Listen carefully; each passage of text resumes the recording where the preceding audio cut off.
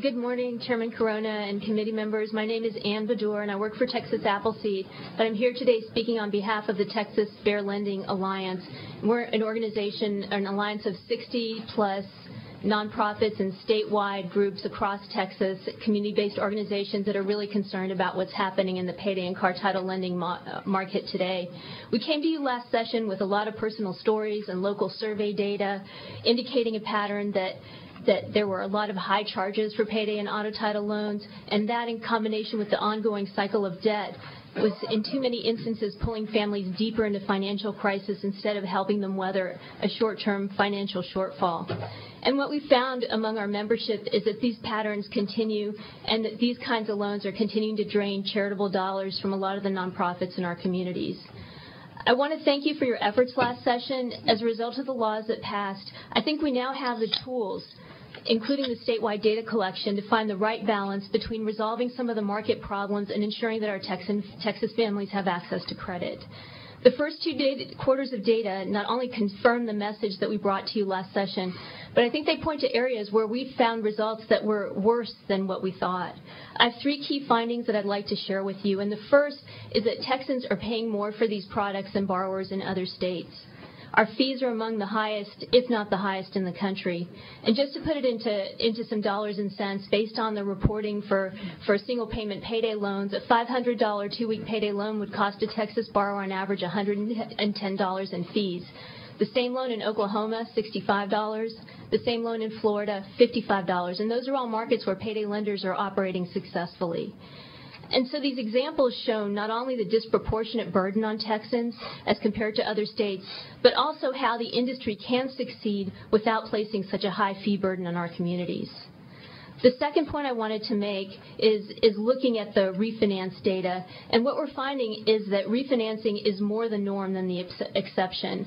And we found, especially in the single payment products, nearly three out of four borrowers were having to refinance their loans at least once, and a significant number multiple times within a, a, a quarter.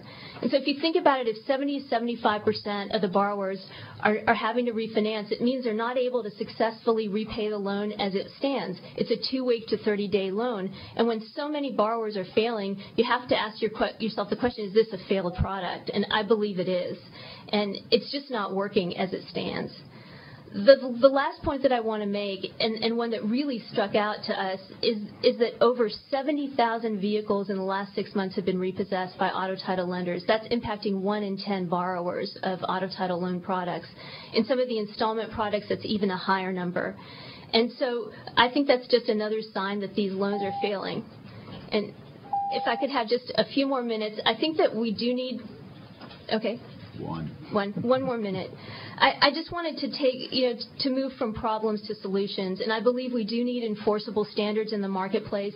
And we have the data, we have the information and the tools to move that ahead. And there are three things that I think have to happen if we want to see the Texas market in line with other markets across the country. And one is limit the fees so that Texans aren't stuck with the highest fees in the country. Number two, limit the number of times the fees can be paid on a loan so that after someone's paid $2,000 on a $500 loan, is that loan paid off?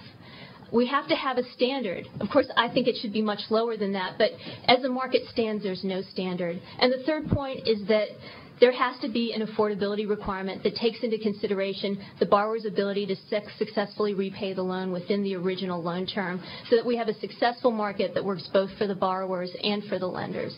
And with that, I'm happy to take any questions. And thank you very much. Members, uh, Senator Van Thank you, Mr. Chairman. One quick question. Mr. Dorr, in your testimony, you cited that uh, our uh, customers here or users of this product are paying a higher fee.